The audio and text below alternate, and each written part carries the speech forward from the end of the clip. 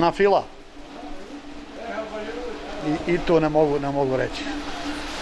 Na, mm, pa možda samo, eh, dobro, namaz, vjerovao to va kad klanjaš neke namaze i to otprilike bi tako moglo desiti se. otprilike. Šta bi značila riječ ili izraz na fila? Na fila to su dobrovoljni namazi. Oni su najvrijedniji, kaže, poslije farzova, na fila su na najvrijedniji namazi. Na klanjavanje, na fila.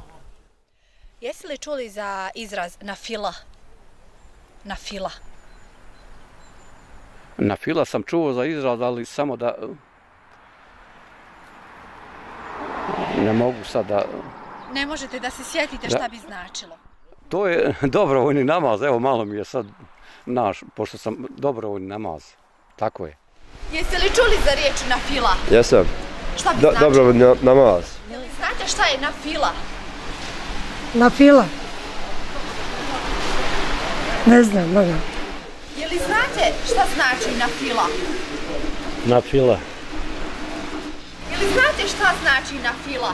Znam, znam, dobrovoljni namaz. Ne znam, jeste li čuli za na filu? Šta bi bila na fila? Ne znam.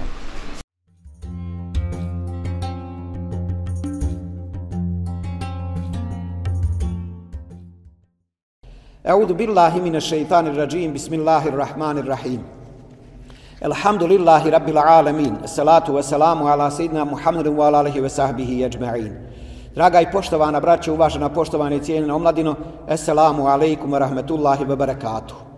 Na fila, pojam na fila najlakše prevodimo kao dobrovoljni namaz. Dobrovoljni namazi su i uzrok ulaska u džennet. Prenosi se da je Rebija ibn Kab zatražio od poslanika sallallahu alejhi ve sellem da bude sa njim u dženetu, pa mu je on odgovorio da što više čini seždu, to jest da što više klanja dobrovoljni namaz. Na fila namazi donose bereket u kuću onoga koji ih često obavlja. Muhammed alejhi selam je savjetovao da se na file klanjaju kod kuće, zašto imam i nevevi kaže da je jedna od koristi toga i povećanje berekata u kući u kojoj se namaz često klanja. Dobrovoljni namazi su uzrok Allahove ljubavi prema čovjeku. U poznatom hadisi kuciju napominje se da su Allahu najdraža djela farzovi koje je propisao, a da mu se čovjek, vjernik, neprestano približava na filama sve do ga Allah Đelešanuhu ne zavoli.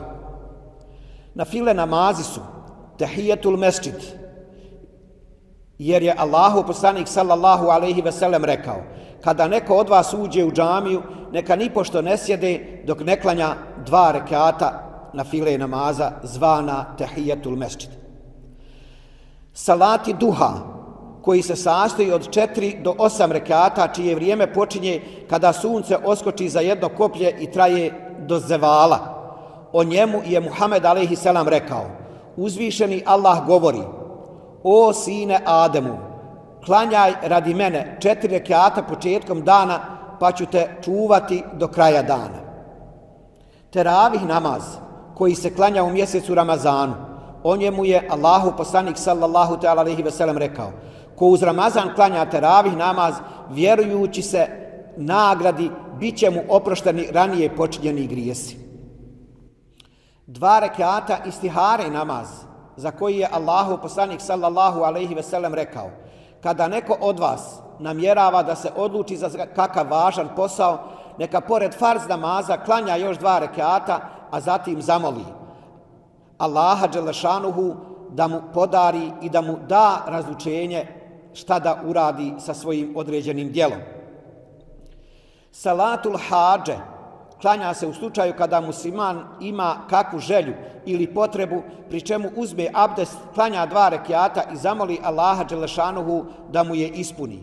U vezi sa ovim namazom, namazom za želje, Allahu poslanik Muhammed a.s.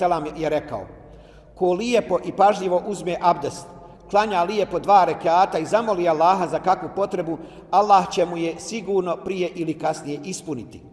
Lejle namaz ili noćni namaz se također klanja kao dva rekiata sabaskog suneta i on se dakle klanja kasno u noć i molba Allahu Đelešanuhu da mu podari što bolji san i što ljepši dan.